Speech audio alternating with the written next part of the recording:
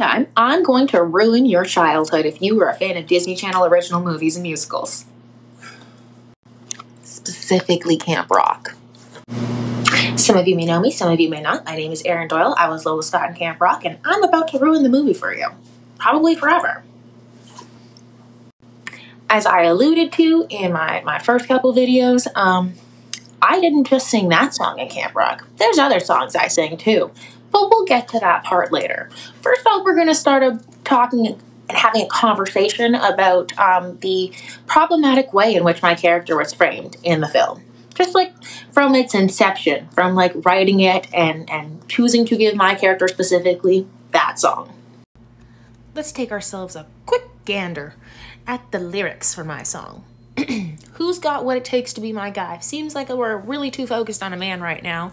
Uh, what it takes to make me shine, what it takes to get me fired up.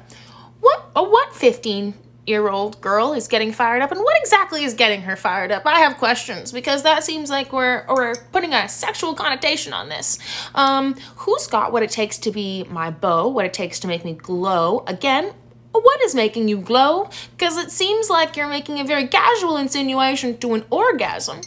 Um, but like, that's just, you know, me. And it could be because you have so conveniently placed me um, as a woman dancing on a table, which colloquially, um, we consider women who dance on tables in Western society to be loose. Um, they made a whole movie about it, Coyote Ugly. Um, just, just saying. But in case you don't think that's problematic enough, in case you think I'm overreacting, here's why I'm not. Because basically what they did is they created my character to be the modern day children's version of the Jezebel archetype from Jim Crow era. What do you mean? I'll explain. Initially, the Jezebel was a tragic mulatto. However, from as early as the 1630s to present, black women of all shades have been portrayed as overly sexualized. Women who fulfilled the Jezebel stereotype were more likely to be sold into white slavery or prostitution. Is she on a table? Is she on a table? How about her? Is she on a table? I didn't see anyone else on a table, regardless of their ethnicity.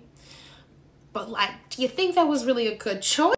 And for all of you who think I'm overreacting, don't worry, there's more reasons why I think this movie is incredibly fucked up. Come back for part two to find out. I've got receipts.